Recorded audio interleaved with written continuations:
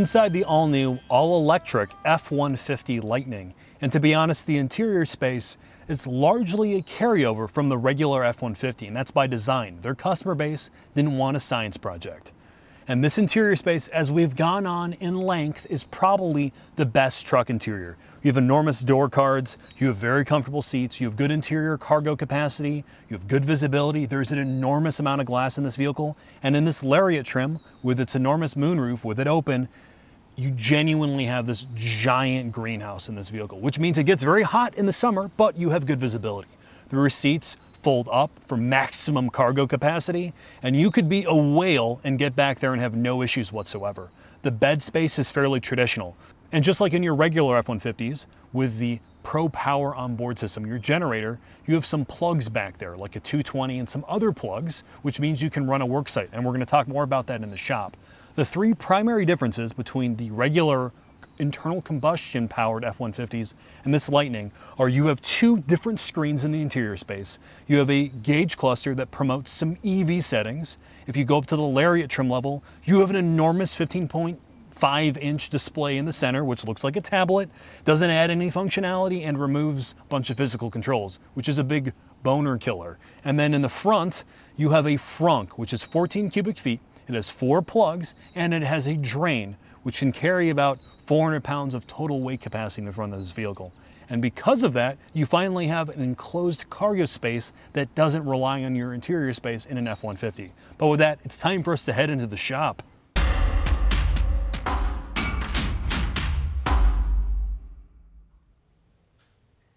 We're under the brand new Subaru Wilderness, Jack. Are we, Mark? I thought this was the Ford Lightning because this thing's built Ford tough. Oh, well, you've been paying attention. You're a student of their marketing platform.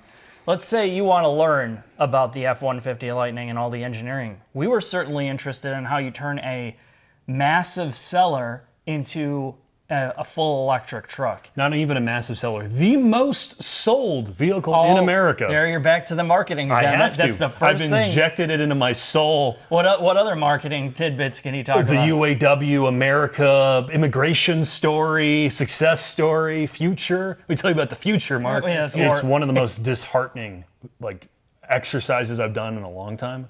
we don't know a ton of the engineering because I, I, I truly believe they took the parts that they could take from the regular F 150 so they didn't have to re engineer everything. Clearly, they had to make some serious changes to suspension geometry, to damping, to bushings to accommodate all the weight, the battery pack shift, the weight balance difference. And they built a whole plant for this car. The Rouge plant was basically spun up for this vehicle, and they claim by the middle of next year, about 150,000 electric F 150s or more are going to be rolling off the assembly line. So clearly, this was a big feat, but we don't know a whole lot. I'm going to walk you through what I do know, though. Sounds good. So body. Obviously, we talked about it in the interior se- segment. They made some changes, but from an exterior perspective, they prioritized the, the aerodynamics of this vehicle. The coefficient of drag was changed, which for a truck is a big deal. So at about 75 miles an hour, this car requires 10% less energy than it would otherwise. You have two battery packs, and that's what dictates the power output of the electric motors. From my understanding, the electric motors front and rear are identical. However, if you have the 98 kilowatt hour battery, it produces in the low 400 horsepower range, but it still makes 775 foot pounds of torque. If you go with the massive 131 kilowatt hour battery, which is what we have in the extended range, which at a minimum costs $20,000 more than the smaller battery, the horsepower goes up to about 580 ish, which means this vehicle, as we're going to talk about in the drive, is ridiculously fast for a vehicle that weighs 6,500 to like 7,000 pounds. This thing's a very heavy truck. It is 0 to 60 in 4 seconds and the quarter mile in 12.7, which in an F 150 is absurd. The front is more, the, this truck's more aerodynamic because the underbody is much flatter than a traditional truck. Mm-hmm. You don't have a drive shaft. You don't have the exhaust manifold. You don't have the exhaust in this, so you can smooth out the underbody and channel air that you couldn't do before. You don't have a center huge differential in gearbox. The front has a closed front because you don't need the, the grill openings so they can smooth out airflow there. So that's how they make up the big benefit. The front suspension, though, is fairly traditional looking. Yes. It's double A arm in the front, non-adaptive damper is kind of what you're expecting from an F-150. And I'm sure most of the front geometry is probably somewhat carryover. Obviously, all the bushings and the spring rates had to be changed for the weight. The rear is radically different. It's an independent rear suspension with the biggest rear aluminum control arms I've ever seen in my entire Those life. Those control arms probably cost as a pair at least five thousand dollars. I wouldn't be surprised. Like I wouldn't be surprised if you got in a, a, rear end collision, a minor one, and you screwed up one of those control arms. An insurance company would be like, "Oh man, we're going to total this thing out." I mean, it is it, that combined with the battery part. So like we talked about originally, they carried over probably as much as they could in the suspension in the mm-hmm. front, but you know the back is is that. I mean, it's just a whole different vehicle. There's no stick axle in the back, which for towing, and I'm going to talk about towing here in a second, is probably a con. But for ride quality, it's a dramatic improvement, and it should handle a little better. Again, this is still a truck. When you're in the when you're driving this vehicle, still some of the bobbliness of a, mm. of a truck, a body on frame vehicle, but in the rear, it rides better. I do think the reason they went to an independent is both because of the electric motor layout, the mm-hmm. packaging associated with it, and the battery pack packaging did not allow them to use a stick axle in the back of this vehicle. Well, and they needed to fit a battery pack that goes farther back yeah. for extended battery pack, so more cells means you're pushing everything farther. The other reason, too, uh, let, let's talk about some of the strategy because now we're dealing with two electric motors that are not connected to each other. That means you're dealing with electronic tuning along with battery state monitoring and load. Yeah. So this is something you don't have to deal with with traditional EVs. So what they've done here is they've put weight sensors so you understand the car or truck understands how much load this thing is under at all times. So a part of that electronic tuning is understanding battery range and translating it to the customer who's driving it. So depending on the weight that these sensors pick up from overall capacity and towing, it can adjust that range electronically to tell you, okay, if you have 9,000 pounds behind you, you're going to be down to like 100 miles or less of range. But if you half that load, it's going to accommodate the fact that it knows what weight you're pulling and will up the range based on that. And it's all an approximation. Again, we're in the age of electronic tuning of every system. The other thing I'm going to talk about now is towing. Towing and the generators on board. Okay. So towing, this is kind of the I like to call the elephant in the room. This thing still tows over 10,000 pounds but range becomes a big issue. Not under our testing, but under some other independent testing yeah. from different outlets. It essentially, if you're towing around a 6,000 pound trailer, you have 100 miles of range, which basically eliminates this for long distance towing. For really the main reason is infrastructure. Yeah. If you're towing long distance, you can't stop one every 100 miles. And if you stop at a traditional EV America station, where are you going to park this thing if you have a giant trailer? You're going to be eating up the entire parking lot. It's not a practical towing vehicle. However, the range is in is not a big deal if you're a regular contractor and you have a fixed radius. The fact that you don't have to fill this thing up with traditional gasoline, yeah, yeah. it should save you a lot of money. And according to Ford, and they focus group this thing to death, the average F-150 owner maximum has a daily range of 190-ish to 170 miles, which this at 300 mile range, or let's say 250, worst case yeah. scenario, should cover you. The range is an issue because it can't do everything the gasoline version can do yet. And the truck is a work vehicle. Right, Which you do drive a lot as a contractor. Yes, it, again, like the towing thing, as much as the marketing is like, oh, look what you can do. You can't tow long distance. So this rolls this out for a lot of people, but probably not a majority. Yes. Now let's talk about the uh, the the generator part of this jack. So with uh, it changes the output based upon whether or not you have the small or big battery. But you have an onboard generator, which they call Pro Power Onboard, and you could theoretically power a, a work site with it with some high power equipment. But the thing that they talk about in their marketing, and now with power outages and whatnot, is the fact that you can power your home. However, there is some fine print behind that, and Mark, walk me through that. So the maximum output of the generator, because of the battery pack's huge, is about 9.7 kilowatts, or, or thereabout maximum load. Which, to put in perspective, that's for a home generator. If you got like a generic unit, that's like five grand. It's the base is like 10 kilowatts, so it's really close to the home, home generation units which when you see see that like and even the the chief engineer she's like oh i had a power outage. I could bring the truck home and plug it in and my family could still watch tv and we could have people over. It, it's nonsense because that to do that at home to power your home you need a whole bypass panel. You need a, a whole grid set up to bypass your original uh, breaker box. So you have a secondary box. That's like four to five thousand dollars, if not more, for an electrician to come out to do that. So there's still costs baked in. It's cool you can do it, but you have to set up your home to do it. So don't think you can just plug your, you know, just plug the vehicle in your power outlet, whoa, and everything works. It doesn't work like that, but it's cool to see this technology and where it is now because in the future, your trucks, if you have the home built for that, you will be able to power your home as a generator and you won't need to buy an external generator to your house within reason, depending on where you're at. But the, the, the con to that is these things, and we've, we're talking about this more, is you're charging, if you're going to be charging millions of F 150s and electric cars, what is it going to do to the power grid? to, is it going to cause more brownouts where then you're like, oh, let me unplug my truck so I can power my house while the elect- electric grid recovers? I mean, it's a huge gray area. It's the fine print that nobody's talking about, Yeah. and none of the OEMs, when you ask these questions, outside of maybe GM, and we're going to be asking them Yeah. in our, our Hummer video that we're doing and some other EV products, are willing to give us answers about Mark. But with that, I think it's time for us to take this thing for a drive because this is no longer a short shop segment.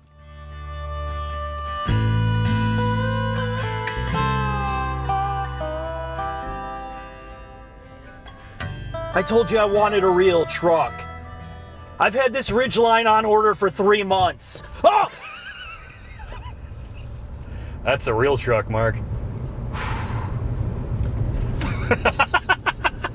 Fucking house.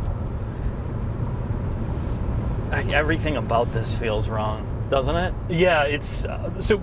I purposely went into this vehicle with the least number of opinions as possible. Right? I wanted to go into with a totally blank slate to figure out: a, is this an F-150 that someone would probably buy? Again, the F-150 is the most sold vehicle in North America, or probably one of the most sold vehicles in the world. And I think as an F-150, outside of the towing problem, which we talked about in the shop, this thing's pretty fucking amazing. So tell me a little bit about what. So you, but we've been in every F one fifty, like Yes. the EcoBoosts, the V8s. What is what is this? Is it just the same truck, just better, or is it worse from this? it's the same truck, but you know it has all the benefits from being an EV. You have an insane amount of power. It's 775 foot, foot pounds of torque and over 500 horsepower because it never has to downshift, never has to spool up any turbos. It's there all the time. So if you had this thing loaded up and you're going up a hill, there's no waiting to accelerate.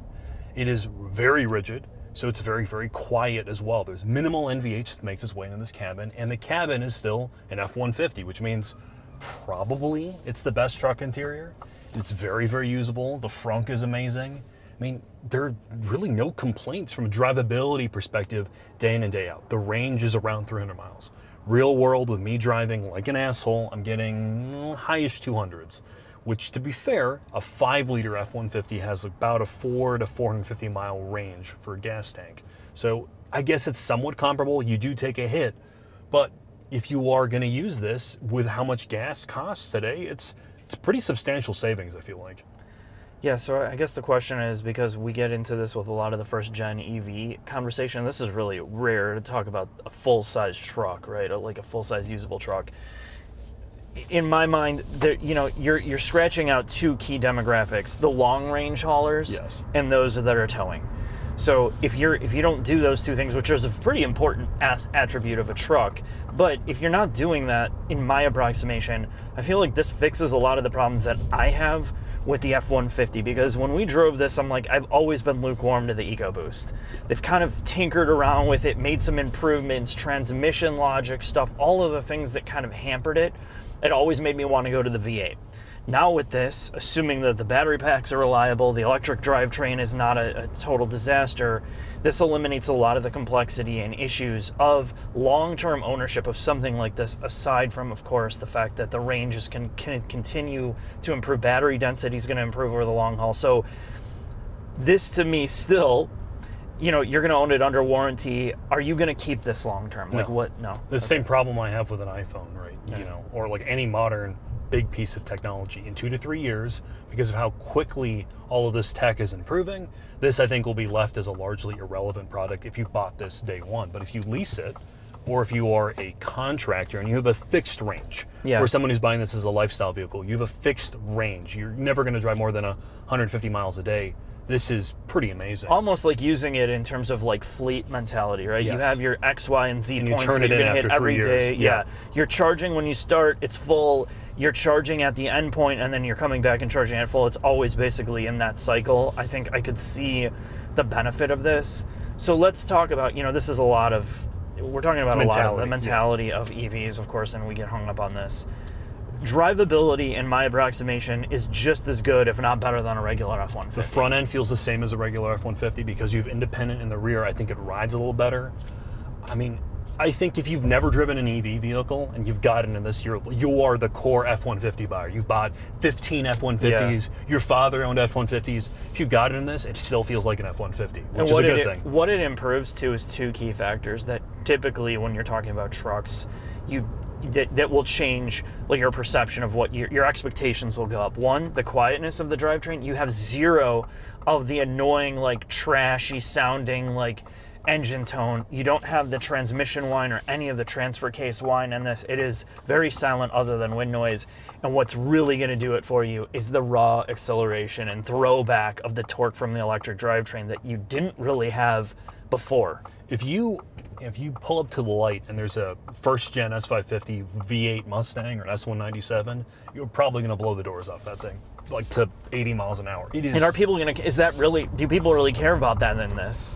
No, but I think at the same time, you're no longer when you have this thing loaded up, you have a thousand pounds worth of shit in the bed, or you're towing something, you're not gonna be a burden to the people around you. You're not gonna take 15 seconds to get up to highway speeds anymore. So From- now you're getting more usable torque and power to, to haul the ac- access weight of this thing and your cargo, but now you get the novelty of being able to treat it almost like it's a sports car off the line, something that you couldn't really do before. It was always like they were tuning it for, well, we have immediate torque, but you didn't have that high level of horsepower to keep pulling, and this does everything now, and that's the beauty of the EV drivetrain. It still has some of the shortcomings from a NVH and handling perspective of a regular F-150. It's still sort of a body on frame truck. Yeah. So there's that wobbliness Yeah, to there- the front end. You get the bobbles. It's not going to handle or turn in like a like a sports car. or like a, uh, a regular unibody SUV, SUV, yeah. yeah. for sure. But it, it, it's to me, it feels everything as much as an F one fifty, just improved on all the key points. The last thing to talk about is we said this in the shop. How does it feel with the insane weight that this carries? Do you notice it in braking? Do you notice it in drivability? I'm gonna be honest, the regular F-150 is so heavy to begin with. Like when we had that Raptor, the Raptor did not want to stop. Yeah. It didn't really want to turn, and this has those same characteristics. I think, again, if you're coming from a regular F-150 and you get into this, you're gonna feel the immediate torque. You're gonna notice the silence, the fact that the rear end feels a little bit more compliant, but past that, feels like a regular F-150, which is why I think this is so impressive as a starting point for trucks. And I think I'm interested to see what the Rivian's like and what the Hummer's like from a practical perspective, not a novelty perspective, because for this thing, the fact that it's It, this is a real Yeah. truck. Like that. That's to me. That's the huge benefit of this. It's not trying to be gimmicky. It's not trying to be like, oh, I'm an EV. It, it really is. You Truck. close your eyes. It's an F-150 through and through with the added benefits of an EV drivetrain. I think that's why it's going to be so successful, Jack. so with that, Mark, let's head into the final thoughts. All right.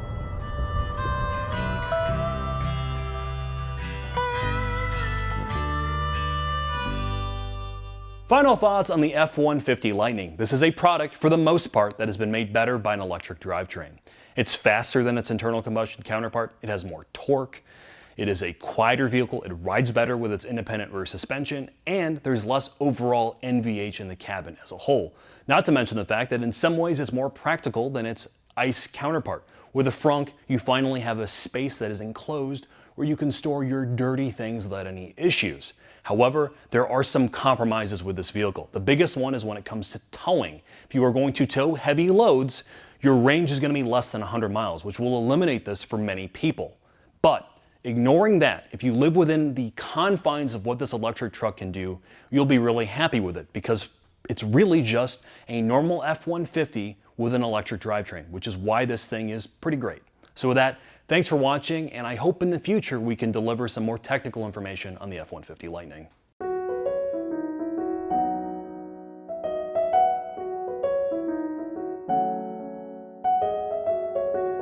Masterclass in the peekaboo shot. Oh.